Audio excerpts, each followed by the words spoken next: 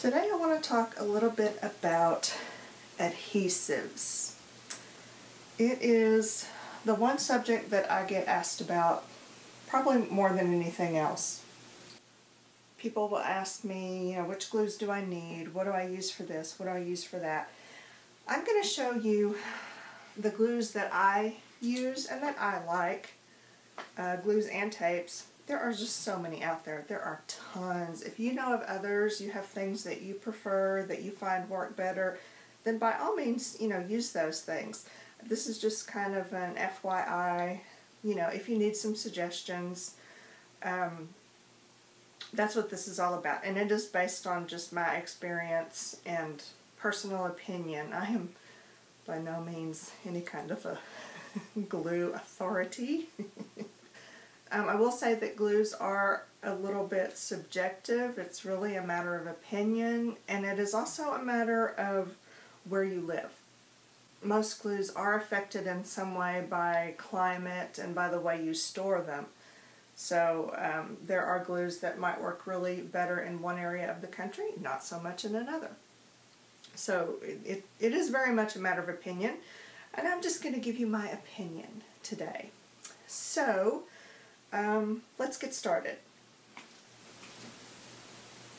Let's start with PVA, uh, which stands for polyvinyl acetate. And we, we usually think of that as white glue. This is things like Elmer's. Um, it usually has a high water content, uh, which means that it, it buckles paper pretty badly you know, not, not really the ideal choice for paper-to-paper -paper applications. But it dries smooth, it dries clear, and it's permanent after it's dry.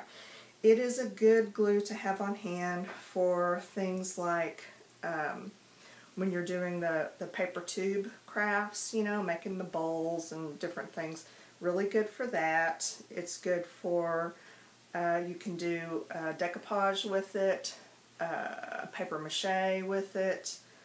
Um, a lot of bookbinders use PVA and you know what? More power to them I it's not my choice for uh, bookbinding applications. Uh, Mod Podge is a PVA glue with additives in it such as uh, it has a varnish in it you may have heard online that you can make your own Mod Podge by adding water to plain PVA glue. Okay, no, you can't. Unless adding water sometime somehow magically creates varnish, all you're going to get is watery PVA when you add water to Elmer's. So that's not Mod Podge. Mod Podge has a varnish in it, a, a sealer that PVA, regular PVA glue does not have but Mod Podge is PVA based. So is, this is called the Ultimate Glue from Crafter's Pick. I actually prefer this over tacky glue. You may notice I don't have one of those gold bottles of tacky glue. I, I prefer this one over it. They're very similar. This one is not quite as thick, but it to me it dries faster and I just prefer it. Um, I do use the quick dry tacky glue on occasion. And this one is, you can't even read it, it's been run through the wringer. It's Elmer's Craft Bond um, Paper Craft Glue Gel. It's a clear gel. It is a PVA, but I, I really like this. I use this a lot when I make um, those paper tubes and paper beads, you know, how you have to put a little glue on them to, to hold them together. I really like this one.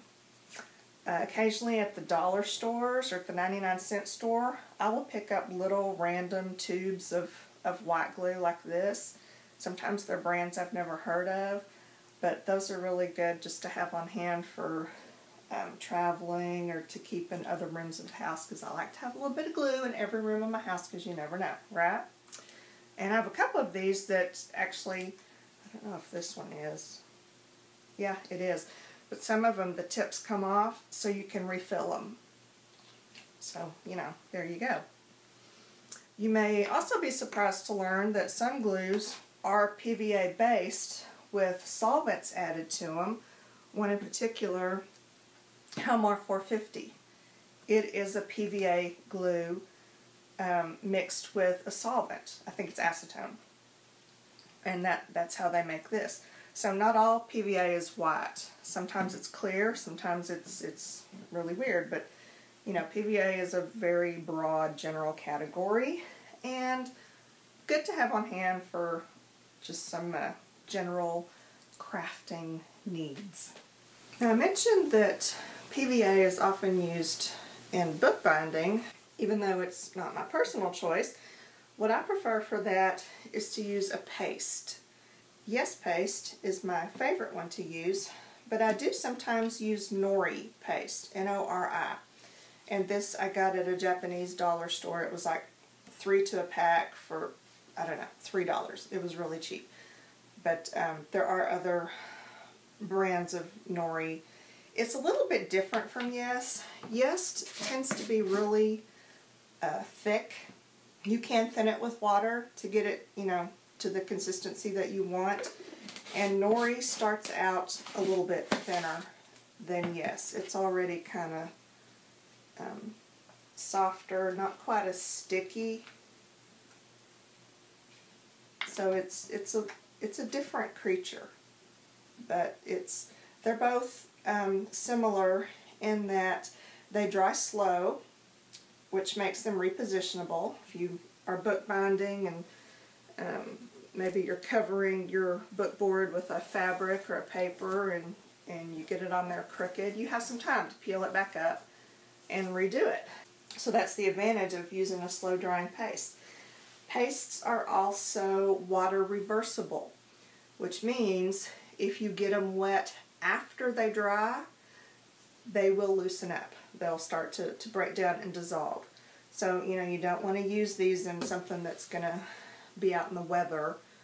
Um, you want to keep that in mind. But for books and things, it's perfect because, you know, most of us are not going to take our handmade books into the tub with us. I wouldn't think. I'm not going to judge you if you do, you know, but for the most part, pastes work just fine for that. Nori and Yes are both starch-based.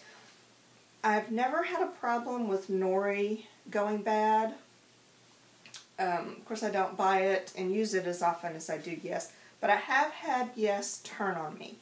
I had um, a couple of smaller containers that I didn't use for a while and they will start to get funky. They'll start to kind of turn dark and then they'll start to turn really scary, let's just say.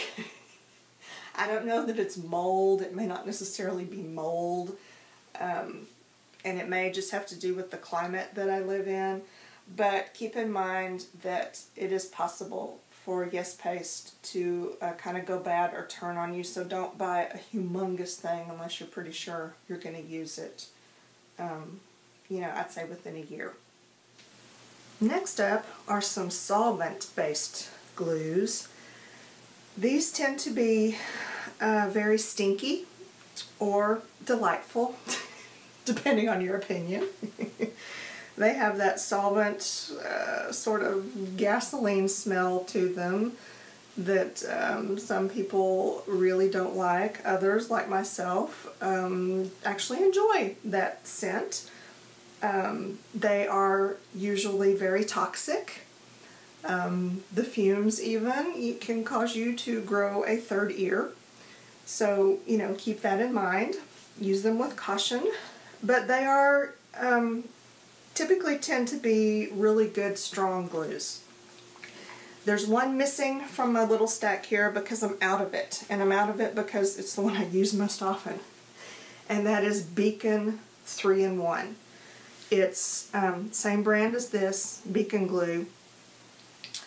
It is very similar to um, Helmar 450 I prefer it because it seems to be a little thicker and a little stronger. That's just my opinion, but, but they are both very similar. These glues, like I said, are solvent based. Solvent meaning um, it could be xylene, it could be acetone, it could be toluene. You know, any of those enes, xylene, benzene, toluene, those are all carcinogens. They're um, they're very dangerous. They should be used in a well ventilated area, but they just make for some awesome, awesome glue. uh, GS Hypo Cement, this is xylene based. It comes in this little tube and it has a teeny tiny little needle point on it, which um, there's no way I can even show you. It's too small to show up. You'll just have to Google it and trust me.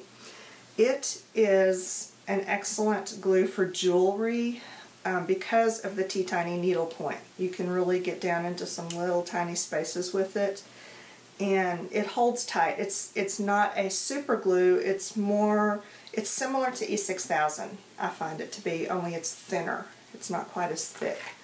Um, you know, good old E6000. It you might be surprised to know that the base of this one is called tetrachloroethylene.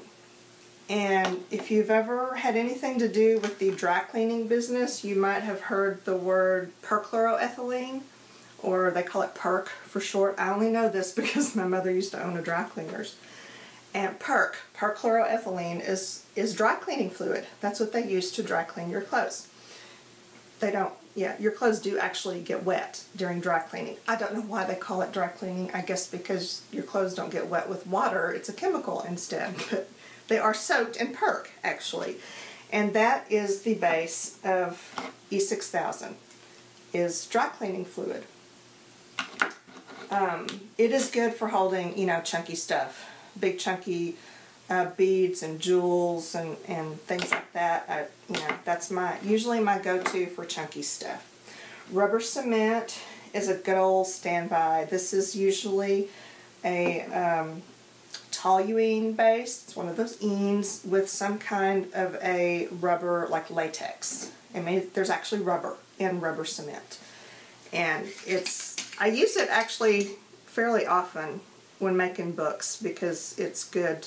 Um, it's easy to use. It's, you know, it's got the little brush, and if you brush, if you have two surfaces you're gluing together, brush them both with rubber cement, let them both dry, then stick them together. You know, they're they're stuck for eternity. So I like to have rubber cement on hand. Fabri-Tac is also very similar to Beacon 3-in-1 and Helmar, but it is thicker, much thicker. Like Helmar, it has an acetone base, so they smell a little bit like nail polish remover. And um, Fabri-Tac is extremely tacky and sticky. It's, it's for fabric. Um, there are times when I don't just regular PVA is fine for fabric. But if I need something, if I'm holding really chunky pieces of fabric together, I need something super sticky, I use Fabri-Tac. To be honest, I use it more for paper than I do for fabric. It is just a good sticky glue. I often refer to it as sinus infection glue because it is about the consistency of a thick, stringy sinus infection. so, I'll just um, leave you with that visual as we go on to the next one. This next group is some miscellaneous glues or those that I really don't know a lot about. They have a variety of ingredients and purposes. Good old hot glue. I usually have to, I have a whole bunch of these little mini glue guns. They're cheap. And then a bunch of these different colored glue sticks, you know, the glitter ones and all that, that I just use on occasion for fun stuff. But for, you know, serious hot gluing, I just use a regular hot glue gun. This is one of those um, Aleene's Ultimate Glue Gun, which I bought for one reason only. It has the fine tip on it. Um, I absolutely have to have the fine tip on my glue gun. It comes with all these others that you can switch out. Switch out. Yeah, I'll never use those. this is all I wanted. And this so far has proven to be a good glue gun. My only complaint with it, it's a little slow to heat up. Uh, but once it gets going, it, it's great. I have no, no complaints. I like that glue gun. There are a couple of different really sticky tacky glues that I like. These two. This is Scotch Quick Drying Tacky Glue. It's um, really super sticky and it does dry fast. This is a really good paper glue. And Tombows Mono Multi Liquid Glue. They're both kind of a thin bodied uh, white glue, but extremely sticky. They're not, they don't have a high water content like PVA does. They may be PVA based. I have no idea. I couldn't find a whole lot of information on either of these. But here's here's what I know. This one, Tombow Mono Multi Liquid Glue, dries sticky. So if you, you lay it down, when it's completely dry, it's sticky. And then if you glue something on it, you can later peel that off. It's like a temporary adhesive. But since it does dry sticky, it's also good for things like foiling and flocking and and and and uh, what are those those micro beads and you know things like that. If I had to choose my one favorite all-purpose go-to glue, it's this one, and it is because it is so dang sticky it dries super fast. Um, it dries clear. It's easy to use. It has the, you know, the wide tip and the thin point. And I will tell you, they clog easily. I don't care what Tombow's little ads tell you. These suckers clog. so, you know, I have to be real careful with them. And I sometimes get really frustrated when they get clogged. So I keep several on hand so that when this one makes me angry, I can just go grab another one and then I can unclog that one later. But it, if I had to say, if I had to pick a favorite glue, this, this would be it just for general all-purpose paper-to-paper gluing. I keep a few different kinds of glue sticks on hand, and I don't know why, because I don't use them. I almost never use them, but I have them. I just feel like I should have them. I, I don't know. I um, have never had good luck with glue sticks. I know a lot of people swear by those yellow Uhu glue sticks, you know what I'm talking about? There are some artists that that's all they'll use. And I think they live in humid climates because I think that it works better in humidity, which should work great down here, but you know, I think I've got enough glue. I don't, don't really need to expand my um, glue inventory. So I don't use a lot of glue sticks, but I do have them on hand and they do work for some people for some things, so there you go. This is another Beacon product. It's called Fast Finish Decoupage. This stuff is like magic. I don't know what's in it. I don't know how it works, but it works. It is awesome for especially gluing really fine papers. I don't know if you can tell, but it's the consistency of water. It doesn't have a solvent odor. It When it dries on your hands, you can't even feel it. It does not leave your hands sticky, but it will stick papers together. I'm telling you, magic. I don't know how it works. Um, it's not good for general collage, decoupage purposes, in my opinion. I find that it works really best with thinner papers, thick papers, um, you really have to soak them good to get it to work. It, it will do, but I just find that I really like it for tissue papers, mulberry papers, things like that. It's just a fascinating glue. Um, spray glue, there is usually very few things that are stickier and better for not buckling paper. You know, spray glue is, is nothing is better than spray glue. I don't use it as often as I'd like to because I don't spray it in my house um, you know, you're just asking for trouble. that overspray, I'm telling you, overspray can just go 100 feet in every direction and you won't even know. And I don't want that in my house. So I do have to use it outside, which means effort. And I'm morally opposed to that. So I, I don't use spray glue as often as I'd like to, but it, it works really good when I do use it. This is some stop fraying stuff, Aleene's stop fraying that I got over in the, probably at a fabric store or at the craft store where the glues are, but I bought it I bought it for some fabric I was working with that frayed, and evidently they were having a sale because I've got two or three bottles of this. okay, I don't use fabric that often, and I don't have a fraying problem that often. I don't know why I have two or three bottles of this, but I did find that it, it works fairly well as a paper glue. Who knew? It's very similar. It's a little thinner than this one, but they're very similar. They're both kind of really sticky, tacky glues, um, but it dries fast. It, it's just a good paper glue. So if you happen to have a bottle of this that's been sitting around because you know you don't ever use it, you can use it on paper. Super glue, um, I pretty much never use on paper, but I do use for some um, uh, heavy embellishments and, and, you know, repairs and things like that. It does have its place. I almost never use super glue without an accelerator. I buy cheap super glue. This is from Hobby Lobby. They have it in different, they have like a thick, a thin, a medium, a super thick, you know, a variety of different glues. They're inexpensive. So I, I keep a couple of those on hand. And I used to buy a lot of this accelerator. And this was from Hobby Lobby too. It's called Extreme Power Accelerator for use with APS adhesive products. I don't know what that means. It's $4. it is basically some kind of alcohol, I think. It's not rubbing alcohol because I've tried to substitute rubbing alcohol. That really doesn't work. The problem with this, it's not that expensive. It's $4.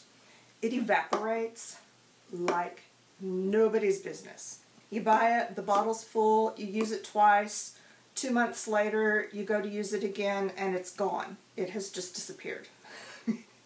so whatever its ingredients are, it, uh, it evaporates quickly. There is a way that you can DIY an accelerator.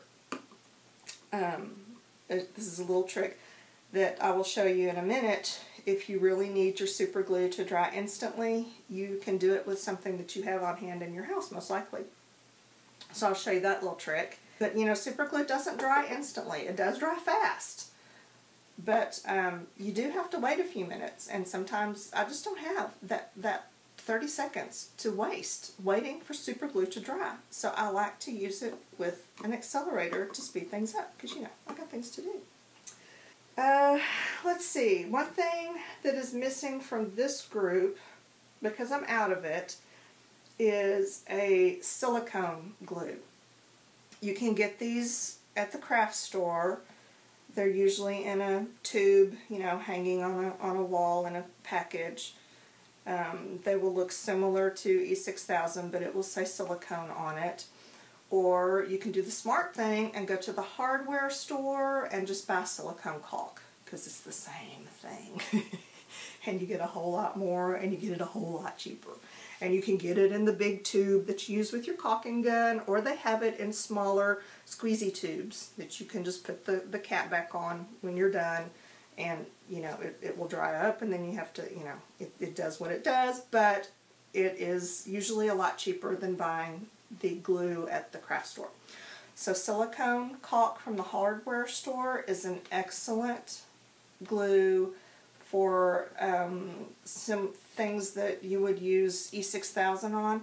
The caulking tends to dry slower than E6000 it's not as stinky although it does have an odor. Um, but you can also do some really cool textural things with the caulk that you can't with E6000 because it's it's just a glue. It's sticky. It's made to attach things together. Caulk is made to, you know, you've got some time to work with it, to run a bead, to smooth it out. You can make some really cool textural doodahs with it. I covered a, a, a cone with white caulk last year and made a little Christmas tree out of it and it looked like snow and it was just cool and fun. So silicone caulk is another um, useful glue. I think that is it for the glues. Uh, let's move on to tape. These are most of the tapes that I use most often. For mounting things dimensionally, obviously, you know, you, I use these little mounting dots, or you can get it in a roll like that so that stuff sticks up off of your background. Those are good. Uh, occasionally I use these little adhesive squares that come in a little thing like this and they come off in little squares. These, I really love these. They're double stick. They're really sticky. They're good for putting pictures on a page or something, but they tend to be a little pricey. But they are easy to use. Good old masking tape uh, is good to have on hand. You can use this in the uh, seams of your art journals to keep the paint from seeping through the, the binding. I tend to use artist tape for that. It is a masking tape. It's just a little bit stronger than regular masking tape. Uh, it's sturdier and it's white as opposed to the kind of manila color and I, I just prefer it. Uh, some people use gaff tape or gaffer's tape which is a product that you can get some art supply stores carry it now but you used to could only get it at um, audiovisual type stores that's used um, in that industry and I, overseas I've heard rumors that it's a lot cheaper than it is here in the US real gaff tape. Now there is gaff tape that is called gaff tape, but it's not. It's just kind of a fabric, a cheap fabric tape that I suppose will work about the same, uh, and it's a lot cheaper. But true gaff tape here in the U.S. is crazy expensive. It's a heavy-duty fabric tape that you can use, uh, similar to masking tape or to duct tape, it does not leave a residue when you peel it up. That's the beauty of gaff tape. Super sticky like duct tape, but it peels off clean. I do occasionally use just some regular double stick tape on a spool. Uh, this is another double stick tape. This one has a release paper and it is removable so you can reposition things. You know, that has its purpose now and then. These are some double stick tapes uh, with release papers, all of them. This one is the kind that you can tear, which makes it much easier to use. This one you can't tear, you have to cut it, but it seems to hold stronger than this one to me anyway. This is carpet tape, which is like the queen mother of all double stick tapes. When you need something stuck down and stuck down good, use carpet tape. It is excellent. It's it's thin, but um, it holds like crazy. I always have carpet tape on hand. Occasionally I use a heat and bond tape. This is the kind that you iron on and I have some of that on hand for mostly for attaching fabrics together because I avoid sewing at all costs. And glue dots I use on occasion. These are those little things that are like, um, these are the thin ones, so they're, do I have any on here? Oh, there they are. Oh, they're the little bitty ones too. They come in different sizes. Um, this is uh, mini, so they're teeny tiny. But some of the big ones, they're just like like little sticky snot balls, you know. And they're really they're good for attaching dimensional things. I find that they they don't hold as strong as something like E6000. But they have their place. And I have an ATG gun that I use. Probably grab this most often just because it's easy to use and convenient to just run a line of double stick tape and stick two things together. Depending on the model you have, there are different um, widths of tapes. This one has adapters that you can get to use different widths of tapes, and some of them you can only use one width. Um, they're a little pricey. The refills are a little pricey, but for ease and convenience, you know, it's trade-off. There you go. Okay, I think that is everything that I know about adhesives. Those are the ones that I use most frequently. So now, let me show you that trick I was talking about with the super glue. I'll have to change camera angle so that you can see. But um, it's, it might come in handy at some point. I'm going to use this thick-bodied super glue and you're also going to need some baking soda. I keep mine in a jar because it's humid here. This is a piece of scrap cardstock. I'm going to put some of the super glue on the scrap cardstock.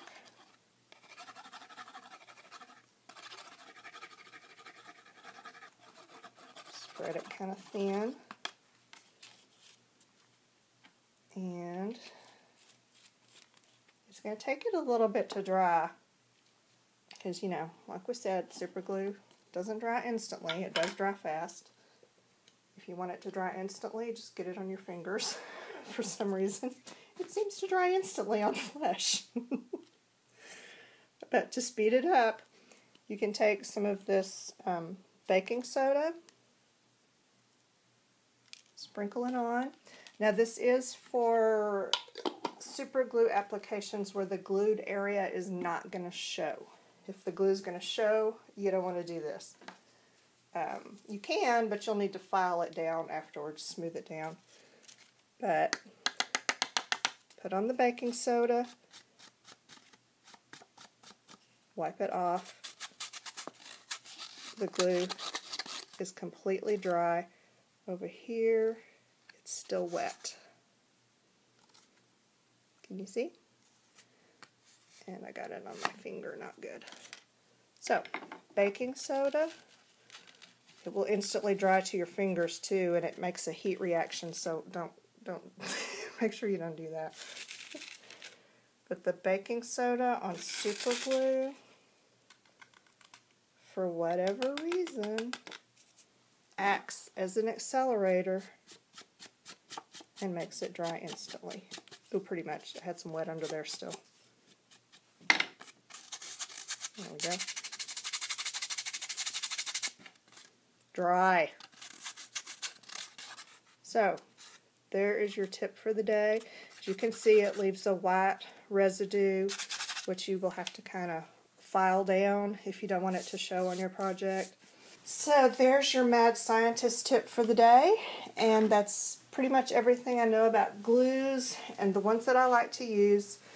You may have differing opinions, but um, which is perfectly fine. Um, so if you, you need a little glue guidance, there you go. So that's all. Awkward, the end.